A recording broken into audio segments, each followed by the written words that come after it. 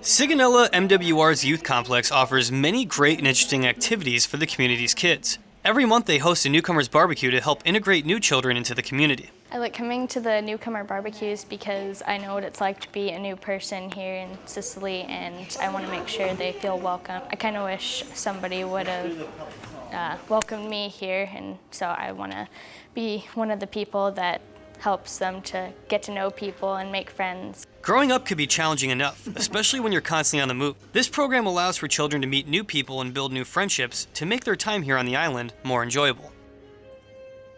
I like being here so I can meet a bunch of the new kids here and hang out with them because moving here makes me really nervous, so it's nice to be able to see if there's other kids in my situation and hang out with them. The youth complex is open to students in the 6th through 12th grade. From Naval Air Station Sigonella, I'm Petty Officer Sean Hillier.